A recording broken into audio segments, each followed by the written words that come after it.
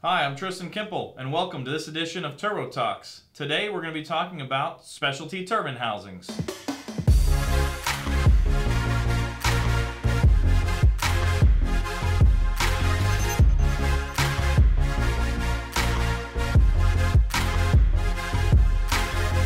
Here at Precision Turbo and Engine, we offer a variety of housings that are designed to be direct bolt-ons and application specific. Some of those include the Mitsubishi, Audi, Toyota Supra, uh, as well as Buicks and, and others that we have in our lineup. Some of them are simply just a custom housing, such as our V-band housings you see here.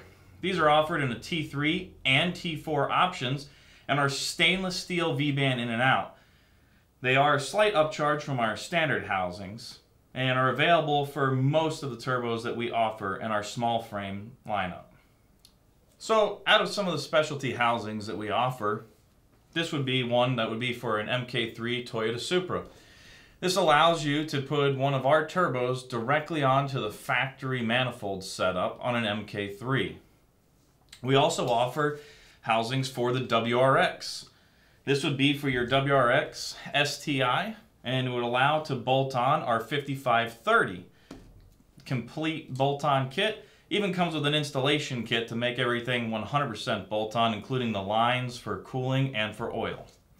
Two additional housings that we have you see here would be our Mitsubishi bolt-on housing and our Buick bolt-on housing.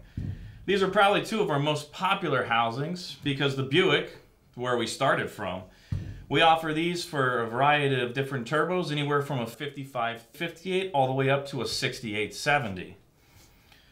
On the Mitsubishi housings, we offer these both with and without the wastegate internal, and it's uh, offered for 58 62 turbine wheels. Some of the more unique housings that we do offer would be this one, which would be something like a K24 or K26 uh, for Audis, for instance and Volkswagens. We also offer this slightly strange looking housing here, uh, which is for the Syclone and the Typhoon uh, GM models from the 90s that people still like to work with.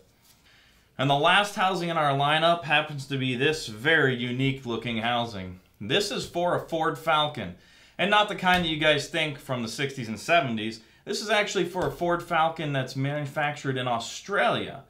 Uh, it's designed to house a 6466 and is designed as a direct bolt-on, even comes with an actuator. So as you can see, we offer a wide variety of application-specific turbine housings to suit your needs.